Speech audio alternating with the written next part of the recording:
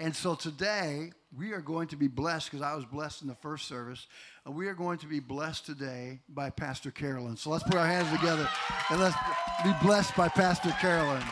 And uh, she asked for it, she got it, Toyota. Amen. So you are on the spot and you're on live stream and everybody across the U.S. Last last last last last Sunday, last Sunday we had over a thousand some people view our view our via our live stream. And so, those who are watching on live stream today, God bless you. You get to meet our seniors pastor, Pastor Carolyn. So, come on, don't be shy now. Come on, just because you're on camera, God bless you. He exaggerates a little bit. I'll say that. So, anyway, I'm just a little nervous because my family is here. And if they would like to stand up, all my family that's here. Thank you. Some of them had to go home already, so it's not the full 30 that we had last night. But anyway, I have a family that's a little on the weird side, and they'll all admit to that. And we come from various sources, but we're all family. So when I got married, I got married to a man who had two sons. So I was an instant stepmother.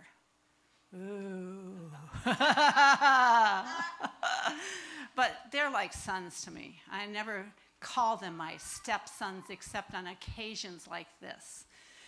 And then I had two of my own. My daughter arrived and she was exactly as ordered. She came out to be a girl because there were two boys. We wanted a girl. And she had red hair, so she was perfect in every way. And she still is today, even if she doesn't think I think that, but I do think that about her. And then I had a son, and so we had these two older boys, and we had two younger kids. And then I got this thing in my head when I got saved from James that we're supposed to take care of widows and orphans in their time. And so I wanted to take care of an orphan. So we started adoption proceedings. And we were old and had four children, and therefore they said, Babies are out for you. so why don't you try for an older child? So we adopted a girl when she was 14 years old, and she fit right into the middle of our family.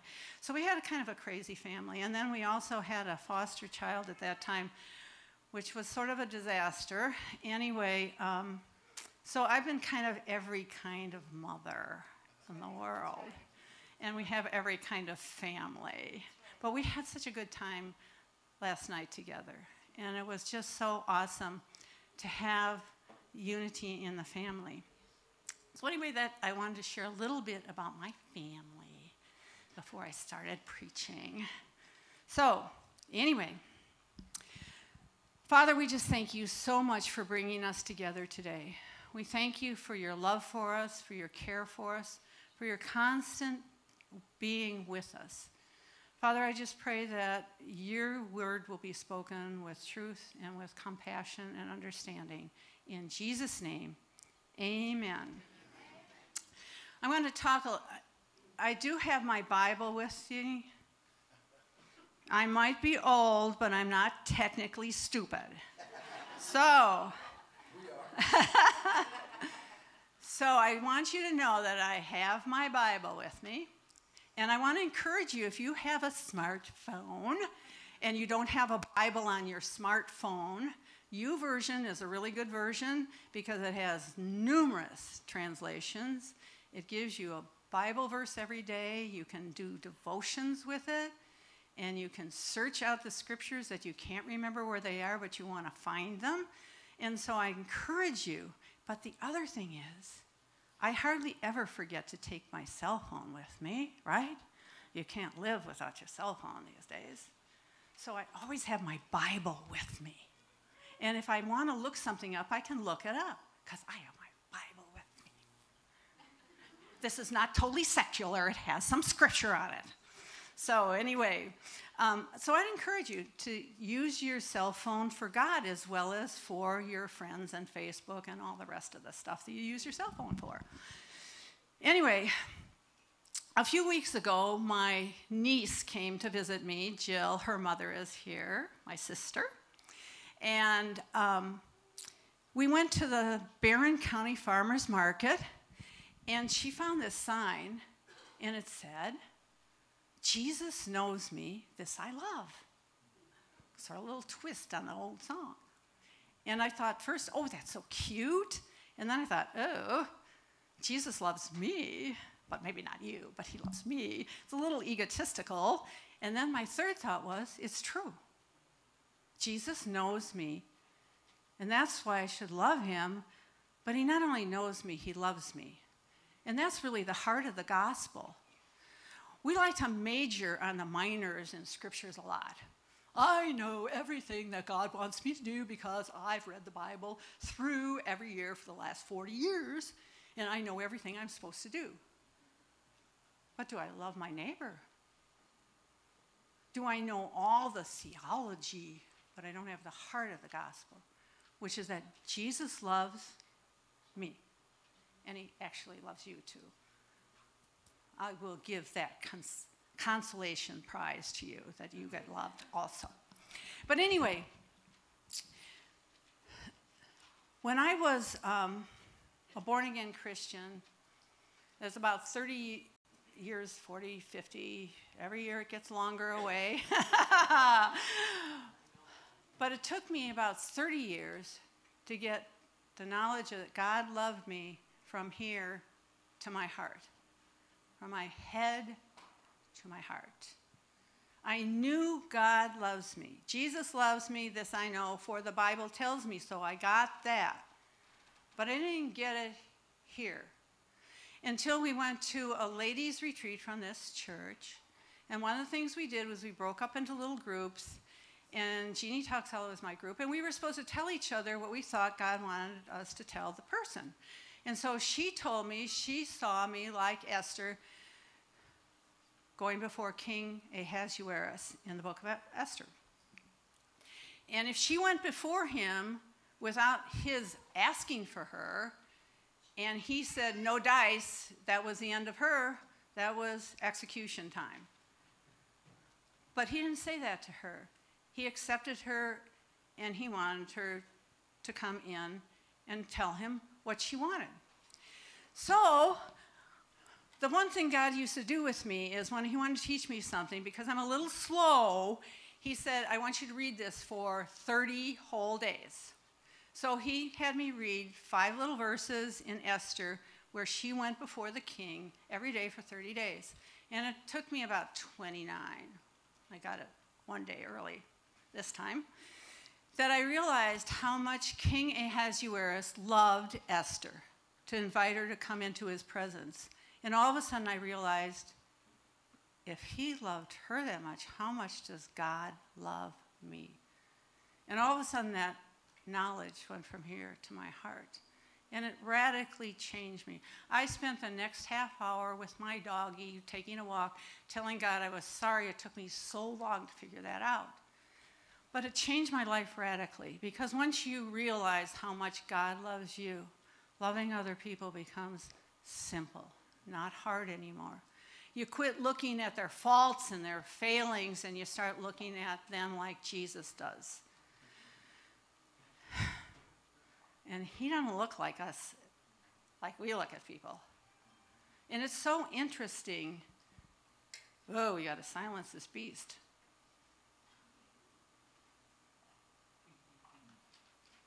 Anyway. You know they give you new updates all the time and then you can't figure out how to use your phone right? That wasn't the same screen i saw the last time i did that. Anyway um, so anyway that's why i love that, that, that sign so much. Knowing that god knows me and yet he loves me. How awesome is that so we are going to turn and study a psalm of David. Because David was a man that was after God's own heart. And when he wrote this psalm, I know he was after God's own heart. So we're going to turn to Psalm 139. And this time I'm going to get it on my little thing here. We're going to read, I think I'm going to get it on this little thing here. It's on the screen. Okay. Oh Lord, you have examined my heart and know everything about me. You know when I sit down or stand up. You know my thoughts even when I'm far away. You see me when I travel and when I rest at home. You know everything I do. You know what I'm going to say even before I say it, Lord. You go before me and follow me. You place your hand of blessing on my head. Such knowledge is too wonderful for me, too great for me to understand. Just think about how well God knows us. Jesus said in Matthew that he knows how many hairs are on our head. Isn't that amazing? I don't know how many hairs are. Some of us have more hair than we used to have, less hair than we used to have, rather. But he knows everyone that's on our head. That's how well God knows us. He knows my every thought. Ooh, that's not a very good idea. God, there's some thoughts I don't want you to have that are in my head. But He knows them. And He loves me anyway. And He loves you anyway. He's not looking for perfection in us, He's looking for faithfulness in us. That we just return to Him the love that He shares with us. Sounds simple, doesn't it? It's not always simple. It took me 30 years to get there, after all. He knows where I am at all times. And He knows every word I'm going to say. Oh, God, I wish you'd stop some of those ones before they get out of my mouth, right? but He knows them all, and He loves me anyway. Isn't that an awesome thing? He surrounds me wherever I go. You know, there's this theological statement that says that God is omnipresent. That means he's everywhere all the time. Now, that's very hard for me to comprehend with my little brain that there is a being that can be everywhere because I'm only here. Well, now I'm there. But here and there is all I can be. I can't be both places at one time, but God is everywhere all the time a being like that is pretty hard to comprehend, but it's true. And he says that. He surrounds me everywhere I go. Isn't that amazing? I can never get away from God. Doggone it, sometimes I wish I could because I really want to be lazy and do my own thing and I don't want to do what He wants me to do. But He's there all the time. And He still loves me. Isn't that amazing? Then let's go on, and we'll go on to verses 7. I can never escape from your spirit. Oh my gosh. I can never get away from your presence. If I go up to heaven, you are there. If I go down to the grave, you are there. If I ride the wings of the morning, if I dwell in the farthest oceans, even there your hand will guide me and your strength will support me. I could ask the darkness to hide me and the light around me to become night, but even in darkness, I cannot hide from you. To you, the night shines as bright as day, and the darkness and light are the same to you.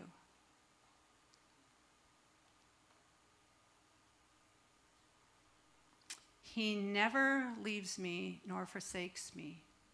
There's no place I can go that God isn't. He chases after me, like that song, Reckless Love. When I first, you know, sometimes you read these songs and you think, what on earth are they talking about? But that's what this is talking about. He chases after me because he's always around me and he never leaves me or forsakes me. So that's true. And I love that part of God.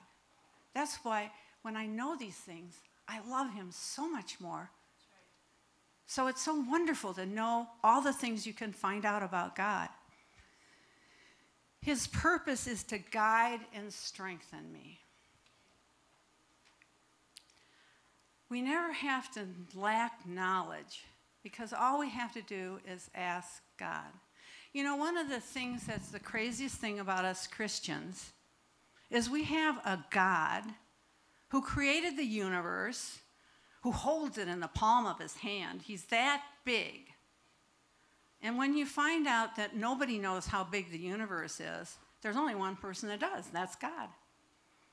The scientists keep trying to find out, but they find out that there's more, and more, more, more all the time. The more the telescope can tell them, the farther out in space they can go. They just keep saying, there is no end to this place because there's no end to God. And so that God, that very God, wants to guide and strengthen me. Isn't that awesome? Isn't that awesome? So then let's go on to the next phase here, because this is really a neat part. You made all the delicate inner parts of my body and knit me together in my mother's womb. He knew you before you were born. Thank you for making me so wonderfully complex. Your workmanship is marvelous, how well I know it. Do you know how well your work, his workmanship is in you? Or do you think your body is too fat and sloppy and there thinking straight and blah, blah, blah? How many things can we think that are wrong with us when God wants us to know the one thing that's right with us if we ask Jesus into our life is we've done the one thing he's asked us to do in our life that makes him exceedingly happy. And that's we invite Jesus to be in us. And then when we invite Jesus to be in us, then not only does God surround us, but He's in us too. Isn't that exciting? I mean, really, if you weren't very worthwhile, do you think God would want to be in you? I don't think so, because He thinks we're worthwhile even if we don't think we're very worthwhile. And so He wants us to change our thoughts because He has thoughts of us that are wonderful. So, anyway, he saw, you saw me before I was born. Every day of my life was recorded in your book. Every moment was laid out before a single day had passed. He's known before you did that naughty thing that you did that naughty thing, and he knew all along you were going to do it, and he didn't stop you from doing it. But sometimes you pay the consequences for doing it, right? and you wish you hadn't done it. But he knew all along because he knew every day of your life before it even happened. Now, did he force you to do those things? No. He just knew you were going to do them. He gave you the choice, but he knew what choice you were going to make. That's so amazing. And he still chooses to live in me. Holy cow, what a God. Really, truthfully, how awesome is that? That he loves you so much that you can do naughty, bad things and he still loves you. Anybody who has kids, though, you know you still love your kids even though they do naughty, bad things. Well, God's no different. And sometimes we think that God doesn't like us, He doesn't care. He's mad at us because we did something bad. But that's not true. He loves us he knows us and He knew before we did all these things that we were going to do them. How awesome is that? Right. To have a God that loves you so much that He's willing to let you do things that He doesn't want you to do. And He still loves you anyway. How precious are your thoughts about me, God? Think about that. His thoughts about us are precious. That's pretty exciting, isn't it? That's awesome. They can't be numbered. We can't even number the thoughts that God has about us. Holy cow. How awesome is that? I can't even count them. They outnumber the grains of sand. And when I wake up, you're still with me? He didn't go to sleep and leave us alone. He stayed with us all through the night. Isn't that exciting? I just had an event, and I'm going to share that my sister went through on her way to visit me. She lives in Durango, Colorado, which is about 5,000 miles from any good airport. And so you have to, if you're going to fly out of Durango, you're taking your chances. And she took her chances and failed the first day. So she was supposed to arrive on Friday. And she didn't arrive on Friday because the plane didn't take off from Durango. So then on Saturday, the plane took off, or sort of took off. It took a while for it to get off the tarmac and into the air because they had a little something wrong with the plane and they anyway well, it, it, was a disaster but then when she got to denver where she's supposed to transfer to the plane here they didn't have a gate for. So they sat on the tarmac another 45 minutes waiting for a gate. And by then her other plane had gone bye bye so she missed her connection. So then of course they have to find a connection. You know that's not easy these days because the planes are so full. So eventually, eventually, she landed in Minneapolis. And I told her, too bad, so sad. All the people we had arranged to pick her up and bring her home, she was going to have to drive herself. And I told her how to get out of the airport by telling, asking somebody how to do that because Minneapolis airport is a little tricky getting out and getting on the road you want to get out on. So anyway, so she's standing in line waiting to get a car, and there's this guy behind her, and I guess they got started talking, and all of a sudden he volunteered to take her to my house. How about God arranging something like that? Isn't that awesome? But he knew all along all that stuff was going to happen. And this nice guy, she, of course, took a little chance taking it with a guy she didn't know, but this nice guy, and he was a nice guy, brought her to my house. And the amazing thing is, he was going to Iron River, so it really wasn't totally out of his way to come my way instead of going a little farther north and across. So, wasn't that exciting? He knew that.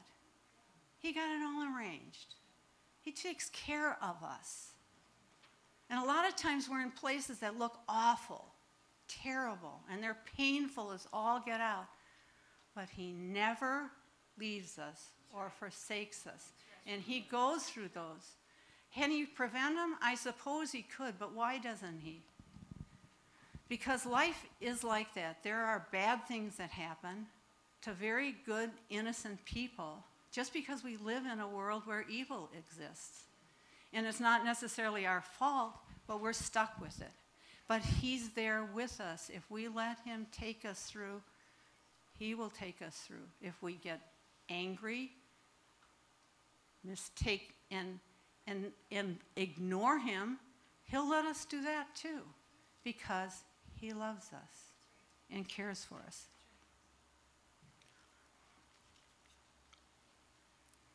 Then the next section goes on.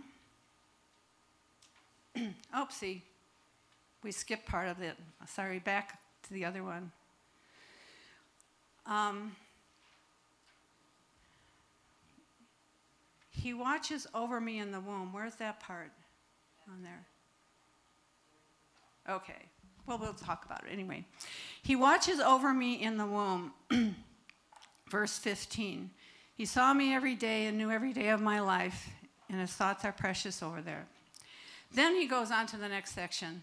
And it says, and it says in the next section that, starting in verse 19, if you would only destroy the wicked, and I came to this part of the, this thing and I think, what on earth is he bringing this up for and all this good stuff? And the thing is, if we really love Jesus, we love the things he loves and we hate the things he hates. And our enemies, Jesus tells us, are not flesh and blood, but are principalities and powers, the evil one. And so when he says that we, he wishes that we would destroy the wicked, he would destroy the wicked, we're talking about Satan. And God does hate his, he wants us to hate the enemies that are his enemies because he hates them also. But then my response to God's overwhelming love is the last two verses here.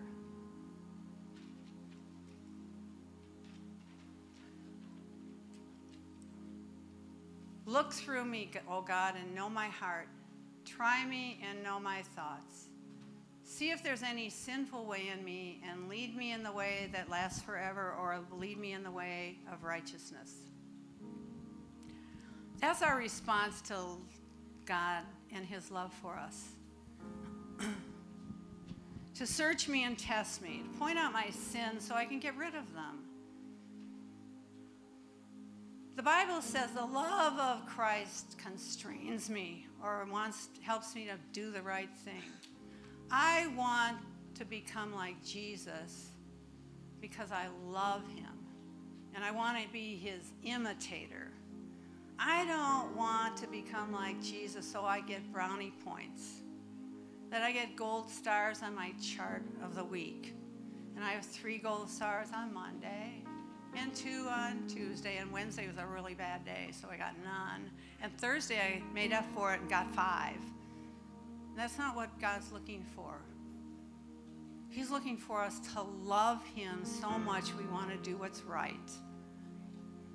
And that's so, so important.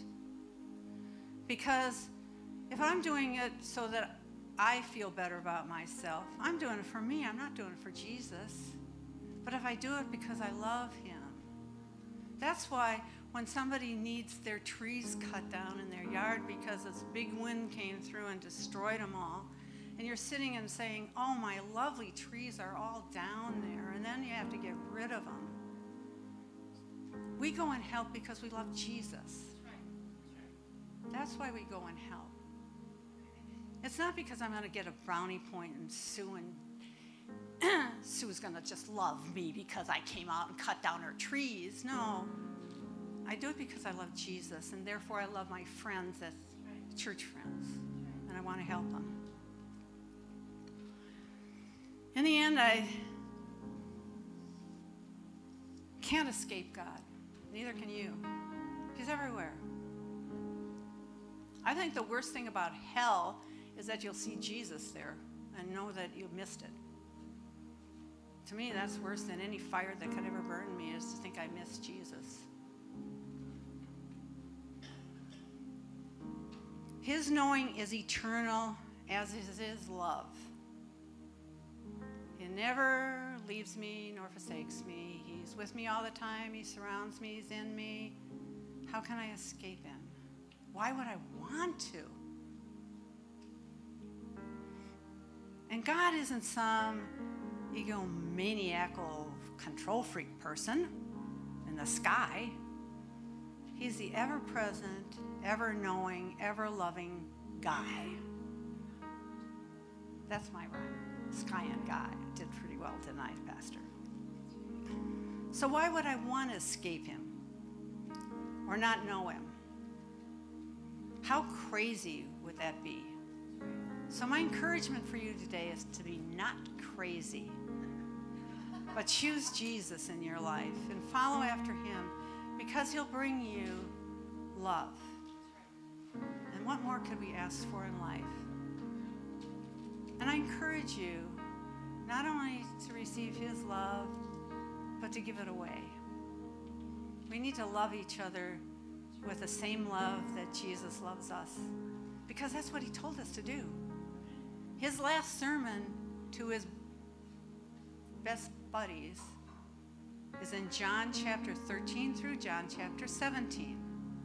And he says in there, I want you to love each other as I love you. Tall order. But I need to know how much he loves me so that I can love you with the same love. What kind of a church would we be if we all loved each other with the love of Jesus? Wouldn't that be awesome? So I encourage you. Read this psalm. Believe it. Believe He knows you and loves you and cares for you and wants you to love Him back. That's all He's asking. Not much, but it's a big barrier sometimes because loving Him means I have to be loving. So I encourage you to do that. Father, we just praise you and bless you. We thank you for your great love. We thank you that you know us better than we know ourselves and that you love us anyway. And I just thank you so much for your presence with us here today. Go with us this week and keep us safe in your loving arms. In Jesus' name, amen. Let's give it up for Pastor Carolyn. Amen. Amen. Amen. I love this lady. I love this lady. You know, um, I, I just want to leave you with this thought. There are two wills that God gives you. All right? Now get this. There's two wills that God gives you. He gives you his permissive will or his perfect will. I want you to hear this. His permissive will is that he doesn't agree with you, but he'll let you do it. How many of you as parents have said that about your kids? I don't agree with you, but I'm going to let you do it. God gives you his permissive will, and he still loves you even though you do it and you find yourself in a mess. How many you know what I'm talking about, right? That's called the permissive will. But God's perfect will, he will keep you in perfect peace whose mind is fixed on him. His perfect will is doing exactly what he tells you to do. And that prevents you from the accidents, the things that happen in your life. So there's the permissive will. So whenever you're making the decision, let me just help you with something. Whenever you're making the decision, here's what you're at. You're at a crossroads or a fork in your life. You got to ask yourself, is this God's permissive will or is this God's perfect will? And I don't know about you, but as a believer in Christ, I want to walk in his perfect will because that's where peace that passes all understanding comes from. His permissive will, uh, will allows me to go through the peaks and the valleys and the hard times and the discouraging times of my life only because you you asked for it, you chose it. So uh, okay, I'll let you do it. How many remember that? You know what I'm talking about? So whenever you're making decisions in your life, Monday through Friday, Saturday, and you come back on Sunday to get bandaged up, ask yourself, why are you wounded? Did you go in God's permissive will or in God's perfect will? Will you stand with us today? I'm so proud of her. And thank you, family members, for being here today. Thank you for being here. Let me pray a blessing over you today. Father, I thank you for this wonderful congregation, and I mean that with all my heart. I thank you, Father, that you, Lord God, have blessed this congregation. Bless them in their going in and in their going out. I pray that, God, that you will fill their vats to full and running over. Father, that you say in your word, give and it shall be given unto them, pressed down, shaken together, and running over. And it doesn't mean material things, Father. It's given of our time, our service, our energy, Lord. And I pray that, God, you will fill the vats of those here today for all the sacrifices and things that these people have been doing for certain ones here in this church. Bless them for all what they are doing. Now go with us, Father. Recharge our energy and our batteries, Lord, and prepare us for a new week that's ahead of us. Go with us now, we pray, and bring us back tonight for Miracle Sunday. And we give you all the praise in Jesus' name. Amen. Amen. God bless you today. Have a great day in Jesus. God bless you.